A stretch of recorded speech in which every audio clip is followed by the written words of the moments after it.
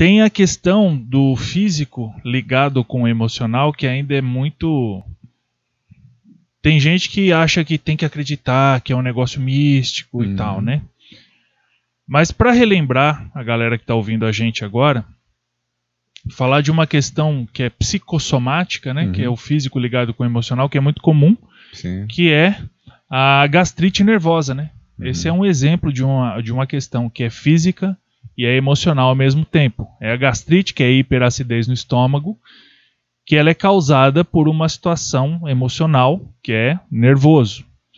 E dessa mesma forma, muitas dos nossos problemas emocionais e comportamentos, eles são causados por questões físicas e principalmente na coluna vertebral, que é a sua especialidade. É isso mesmo? É isso mesmo. É, é só um- uma observação, Luiz. É que quando a gente fala de sintoma, então todo sintoma, independente de qual seja, tá? olhar, ele, ele tem relação, sim, com as que- questões somáticas, né? Emocional. 100% deles. Tá? O que não poderia ter? Talvez um envenenamento, uma intoxicação, algo do gênero. Né? Mas um evento, um trauma, isso vai somatizar inevitavelmente. Só não vai somatizar se a pessoa estiver treinada para isso. Para não se deixar. É, é, não se deixar afetar por aquele evento, por aquela impressão que chega aos nossos sentidos. Uhum. né? Quando a pessoa está treinada, não vai desenvolver nada. Mas todo sintoma, ele é uma expressão do ego. Pode parecer estranho isso. Né? E, e aquele sintoma, aquela dor que gera sofrimento, ela, na verdade, ela é uma dependência do significado que você tem de algum conceito. Então, assim, é necessário que a gente forme conceitos. Mas, às vezes, esses conceitos, eles não estão muito bem formados. Eu não diria nem, não, nem que, que, que não estejam formados, eles não estão alinhados com a realidade. Uhum. Entende? Isso é que a gente aprende dos nossos avós, dos nossos pais, tá? Então, nesse aspecto, é todo sintoma, ele tem origem, sim, emocional. Todo, Todo sintoma físico. todo sintoma físico, físico, né? Então, por exemplo, uma dor, sei lá, na bacia do lado esquerdo, Uhum. ela tem alguma relação com algo do nosso emocional? Sim, tem, né? Então, essa região que você está citando já são, é, ela está ligada àquelas questões que, que são inatas a, a gente, ao ser humano, só que a gente desconhece. Né? Por exemplo, as questões sagradas. né? Então, às vezes, a pessoa ela tem aquela necessidade de ser subservente a algo que ela desconhece. né? Tem um medo do desconhecido. E se ela tiver algum conflito nesse aspecto, né? ou seja, faz alguma coisa e acha que é pecado, vai somatizar aí, exatamente aí. Você entende? Então quer dizer que quando alguém vem com uma queixa de uma dor num, num local específico do corpo, A gente já faz o rastreio. você já faz o rastreio e já sabe qual que é a emoção ligada A a, gente isso. deduz, exatamente. Ah, legal. Aí nós, claro, existem formas né, de, de verificar isso através dos testes né, osteomusculares. tá? Sim, aí você estava falando que na sua experiência você foi vendo isso, né? Que a coluna mostrava por grupos de. É, de vértebras, né? Grupos. Isso. Posso pegar a coluna? vértebra? Pode. Opa, Explica pra nós essa parte que eu acho muito interessante. Tem um modelo aqui. Então, Então, veja bem, né? nossa coluna aqui ela tem essas 33 vértebras. E na região cervical, que é essa região aqui do pescoço, né? Ela Uhum. está localizada aqui. Dá pra ver. né?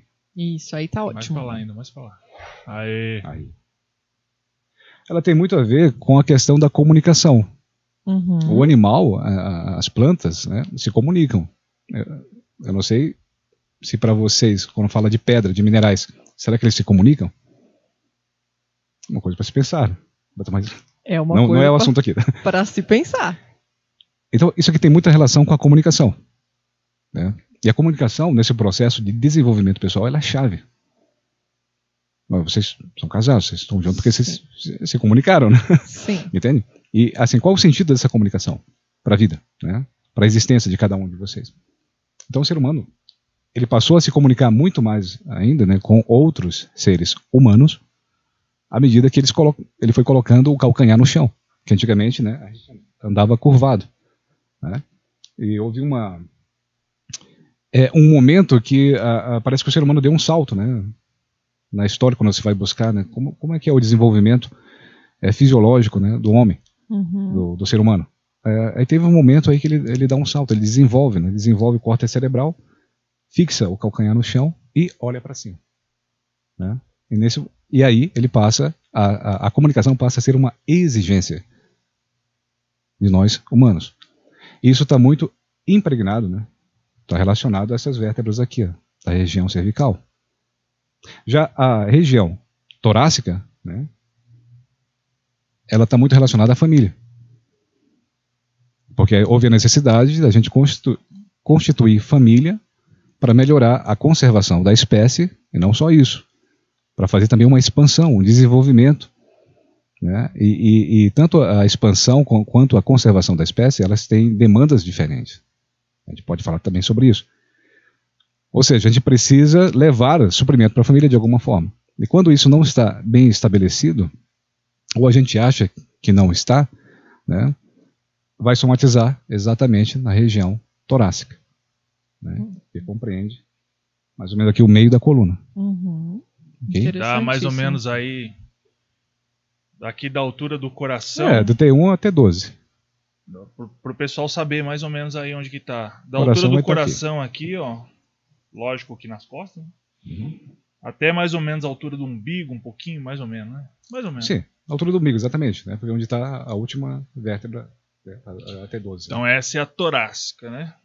Coluna torácica. É isso aí. E aí aqui é a coluna cervical, essa região aqui. Interessante você falar que aí você vai ligando os pontos, né? Uhum. Aqui na cervical, por exemplo, aqueles amarelinhos ali, pega ali pra nós, o Douglas, o É, Michael, por favor. Vocês, como têm conhecimento também, é porque eu estou muito acostumado a falar tecnicamente, tá? Uhum. Então, Hum. às vezes é meio difícil, né? Aham. Então Mas tem um cabelinho amarelinho ali, ó, Vira Que- ela assim, ó, por favor, só pra ficar.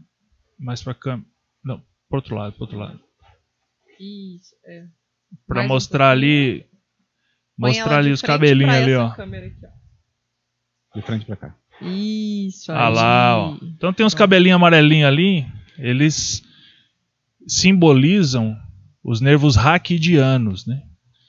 E aí nessa região aqui da cervical saem os nervos que vêm aqui para os órgãos da comunicação, né? Isso. Então, é, é, comunicação, exatamente. Então tem os órgãos dos sentidos, né?